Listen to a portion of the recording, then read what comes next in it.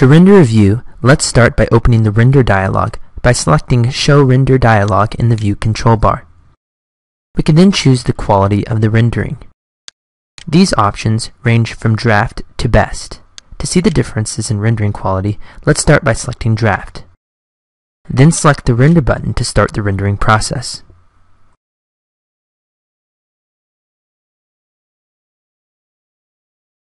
Now Revit will start making passes over our view in order to apply the render appearances assigned to the elements.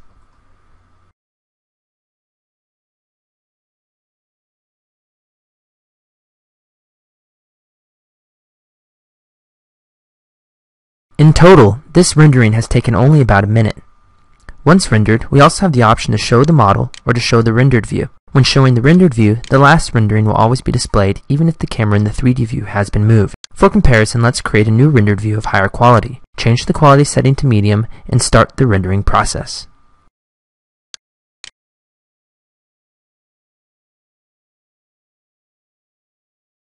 Now, Revit will make multiple passes over the view. Each pass adds finer detail to the view to create a more lifelike representation of our model.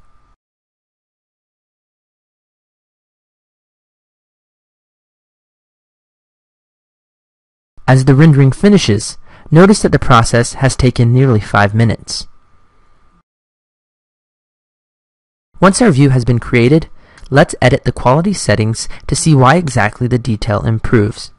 Using the draft option, Notice that the advanced render settings are set very low for options such as the image precision or pixelation, the number of reflections and refractions, the shadow precision, and how much light bounces off objects.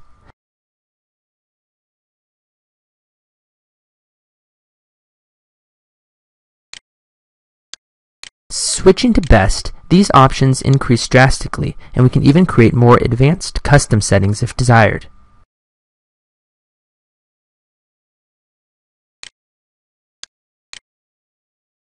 The output resolution of our image can also be changed.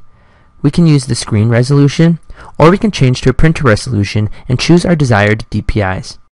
While increasing these settings creates a better image, the trade-off is the amount of time it takes to make these high-quality images.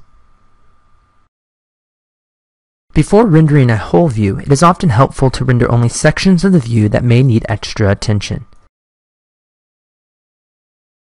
To render a region, select the region option which will display a red box within our view. Drag the borders of the box until the desired region is framed. For this example, let's focus on the door.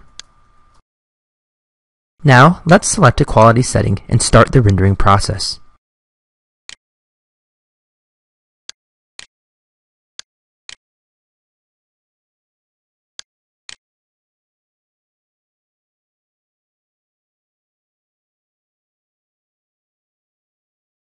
Notice that the region we have selected is the only thing that shows up in this view.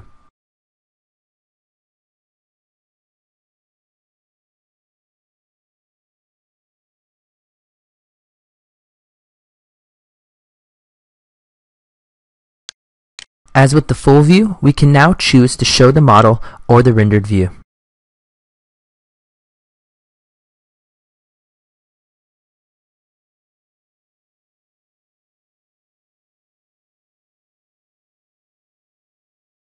To change the lighting level and how shadows are cast, we can edit the sun settings.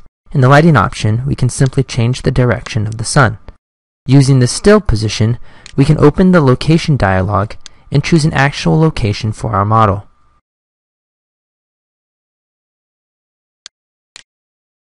We can also choose a date and time for the sun location.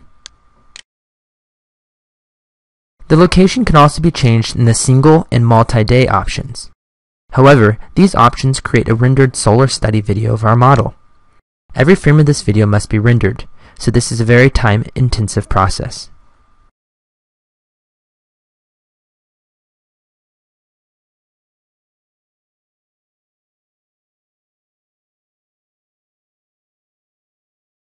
To further customize a view, we can change the background properties to choose how the sky will look.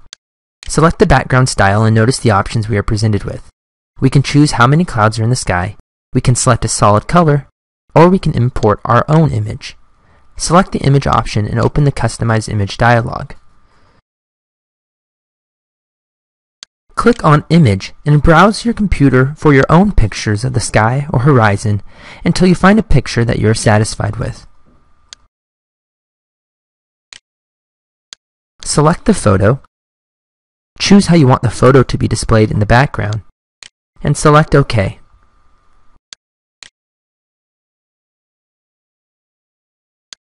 Now, when we render the view, the photo we have chosen will replace the current background.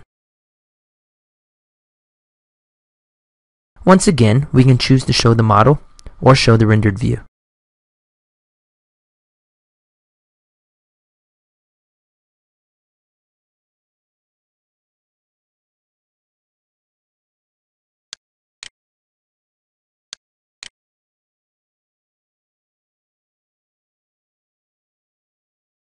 To fine-tune our rendered view, we can adjust the exposure settings.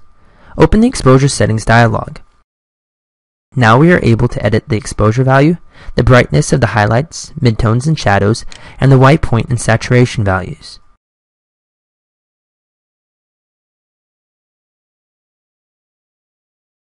For this example, let's increase the brightness of the rendering. Now let's darken the highlights. Select Apply to see these changes. When finished, select OK to exit the exposure control dialog.